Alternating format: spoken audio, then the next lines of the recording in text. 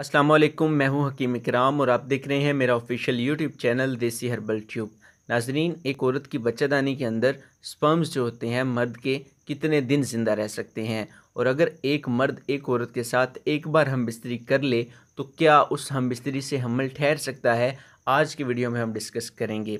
नाजरीन, आज की वीडियो में आपको इस सवाल का भी जवाब मिल जाएगा, क्या एक बार मिलने से हमल कायम हो सकता है? चलते हैं नाजरीन वीडियो की जानब।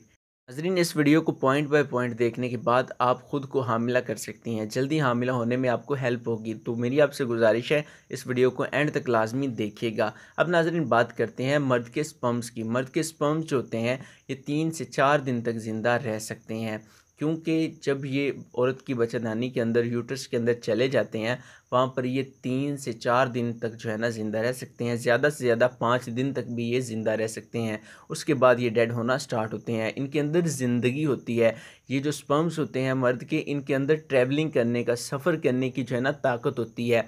अगर ये खारिज होते हैं तो ये आगे ट्रैवल करके, सफ़र करके इनकी जो दुम होती है, ये सफ़र करते हुए ना जिस तरह मछली पानी में तैरती है, उसी तरह ये तैरते हुए औरत की बच्चादानी तक पहुँच जाते हैं। वहाँ पर ये जाकर जो है ना कायम हो जाते हैं, वहाँ पर रहते हैं और अंडे का इंतज़ार करते हैं। और जब औरत की जो है ना ओवल्यूशन होती है, औरत के एग्स निकलते हैं तो अगर कोई भी एग किसी भी स्पर्म के साथ फर्टिलाइज हो जाता है तो औरत हामिला हो जाती है।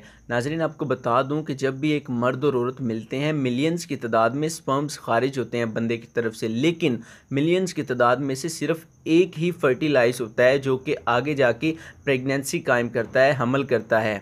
तो नाजरीन, एक औरत के साथ अगर मर्द एक बार हम बिस्तरी कर लेता है तो उसके पाँच दिन के अंदर अंदर वो प्रेग्नेंट हो सकती है। अगर पाँच दिन के अंदर अंदर वो ओवल्यूशन करती है, वो ओवल्यूट करती है, उसके एग एग्स निकलते हैं, अंडे खारिज होते हैं, अंडे फूटते हैं और जाके जो है ना स्पर्म्स के साथ फर्टिलाइज होकर जाइगोड तैयार करते हैं तो ये होता है कि प्रेगनेंसी ठहर जाती है। अब बात करते हैं औरत की ओवल्यूशन की।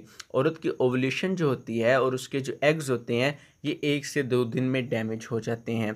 कुछ ने कहा है कि ये कुछ ही घंटों में डैमेज हो जाते हैं, लेकिन कुछ ने कहा है कि ये एक से ज़्यादा दिन तक जो है ना ज़िंदा रह सकते हैं। यानी कि दो दिन तक ये डैमेज हो जाते हैं। अब नाजरीन स्पर्म जब भी पाँच दिन औरत की बचत आने के अंदर रहेंगे और उन दिनों में से जो है ना, जब भी औरत ओवल्यूट करेगी ओवल्यूशन करेगी, अंडा खारिज करेगी, औरत प्रेग्नेंट हो जाएगी तो अब मेन निचोड़ हमारा ये है कि जब औरत की ओवल्यूशन करीब हो, आप हम बिस्तरी करना स्टार्ट कर दें। ओवल्यूशन से तीन से चार दिन पहले हम बिस्तरी करना स्टार्ट कर दें।